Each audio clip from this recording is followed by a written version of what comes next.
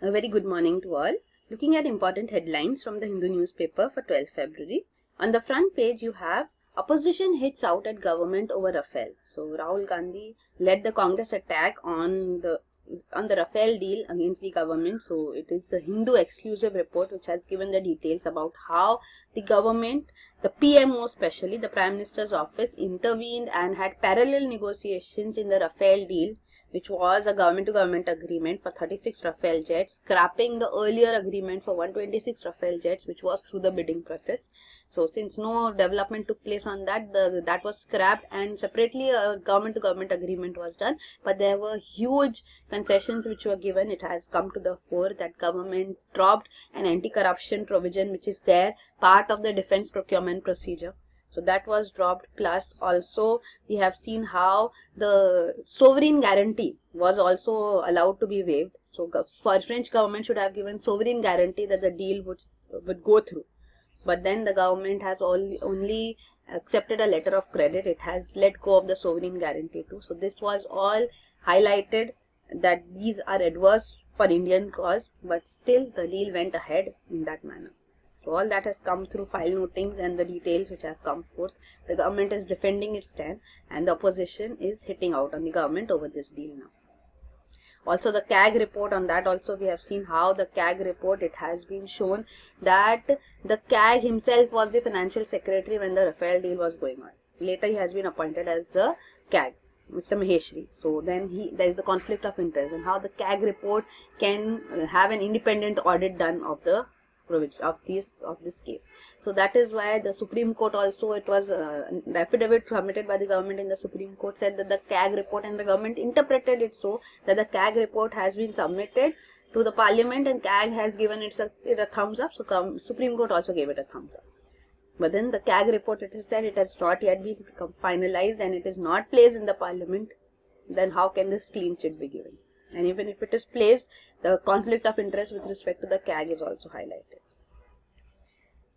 On page 3 you have Rajasthan to scrap education criteria. So this was the rather infamous provision in the Rajasthan Panchayat Raj Act in which for contesting panchayat and civic polls uh, the education criteria was there. So minimum education criteria has now been done and uh, will now be done away with after the Rajasthan Assembly has passed two bills to end this this provision.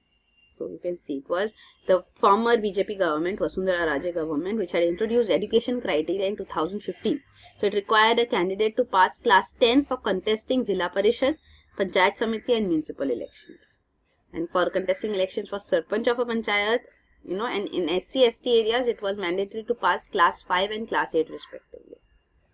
So these were the provisions, minimum education criteria, which have now been done away with. It is said it is against the constitution. On page 5 you have a proud memory of World War II yet to see the light of the day. So this is regarding Japanese submarine RO-110 which was sunk off the coast of Vishakhapatnam. So it was 75 years ago on 4th December as such, you know, uh, on uh, on 12th February 1944. So this submarine of the Japanese Imperial Navy was sunk about 40 kilometers south of Vishakhapatnam harbor.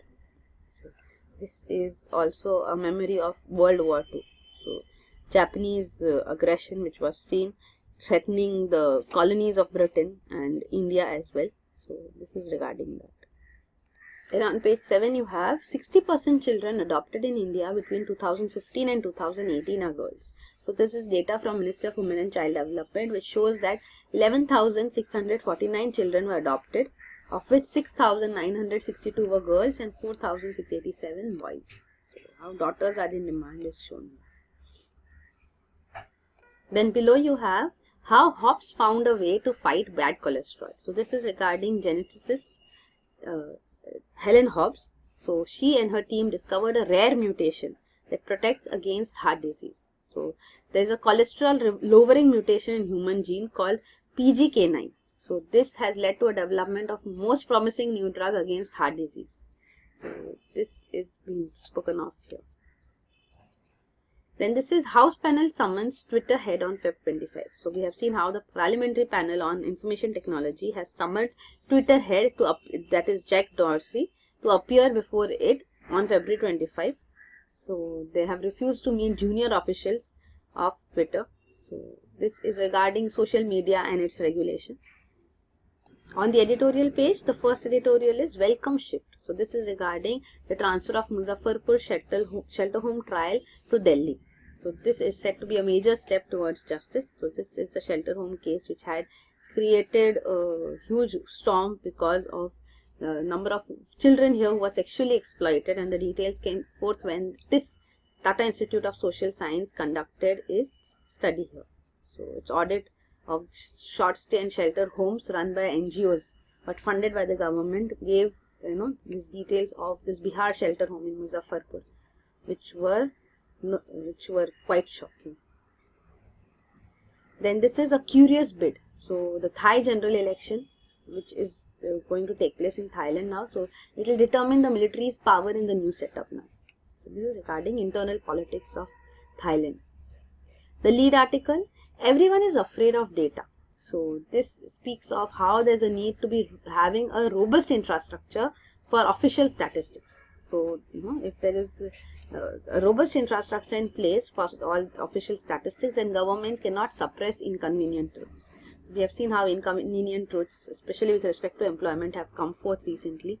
So the government, you know, is actually at fault because the infrastructure for official statistics is not robust enough it should be strengthened.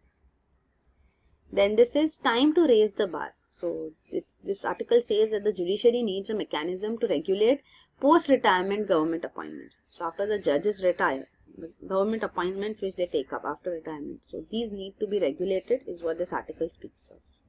Then on op-ed page you have the state of the states. So this is regarding Social Development Goal India Index which has been prepared by Niti Aayog so this index which ranks the states and gives uh, ratings to states, the article says it overlooks the aspect of interdependence of SDGs, Sustainable Development Goals.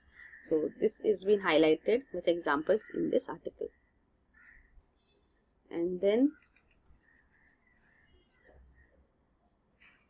on page 11 you have Bhupen Bharat Ratna tied to bill. So this is Bhupen Hazarika, his son. Bhupen Hazarika has died. So his son, Tej Hazarika, is a US based uh, person. So he has said that accepting the Bharat Ratna for, Bharat, uh, for Bhupen Hazarika, it depends on the Citizenship Amendment Act.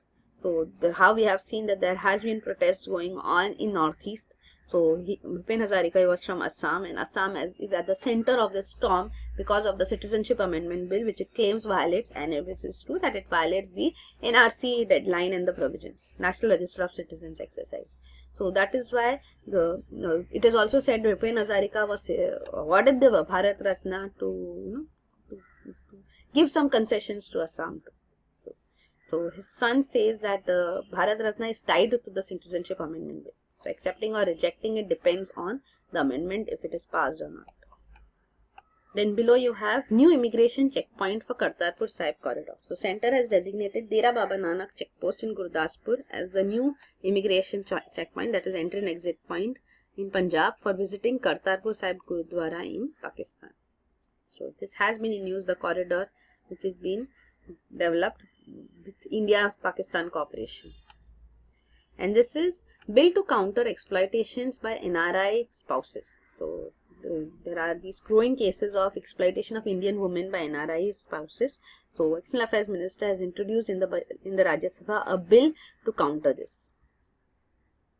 On international page, you have H1B holders from India rally for reform. So there are 200 to 300 people who are protesting outside the White House seeking changes to the green card linked rules. So this is a group of mostly Indian Indians who are on H1B visas. So they have held this rally in USA.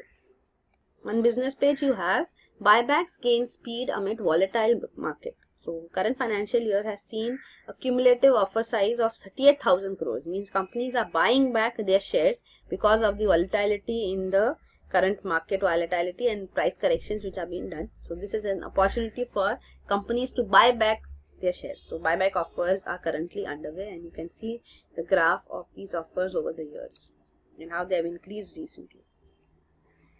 Then here you have SEBI proposes circuit filters for derivative stocks in cash segment. So this is because of recent abnormal intraday price movements. So SEBI has proposed introducing circuit filters. So this uh, is actually a discussion paper which has been released by SEBI on the matter.